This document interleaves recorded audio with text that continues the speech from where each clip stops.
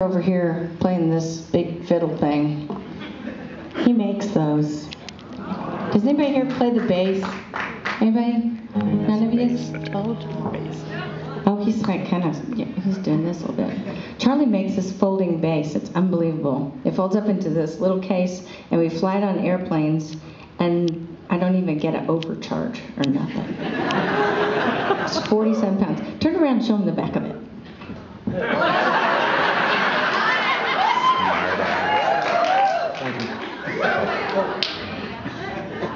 Disassembled. He's bad. You see that little slit there? The thing folds down inside there. It's so cool. And then after he puts it together, there's a little refrigerator there, and I keep a Leinenkugels in there for after the show. and some squirts for it during the show. Do y'all, y'all have squirt over here, right, too? You know, because I grew up in Illinois, and I grew up loving squirt, and um, I was really bummed yesterday because we were in Wisconsin, and you know we'd seen it on the way in, but at Walgreens they don't have squirt. It's like they're so metropolitan they don't even bother to have regional favorites. I was really bummed. This fellow over here. Oh wait a minute. I didn't even tell you his name, did I? Don't complain. I showed you his butt. My best side. yeah. Mr. Charlie Chadwick.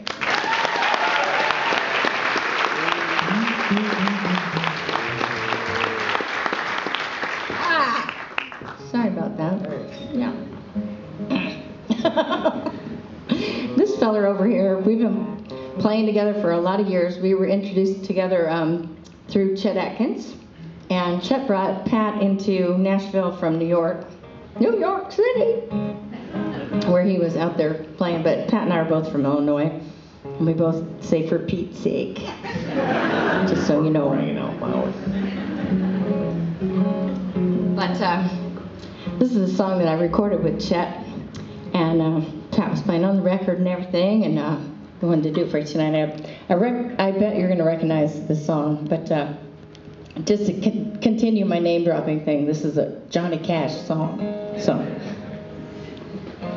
ta ta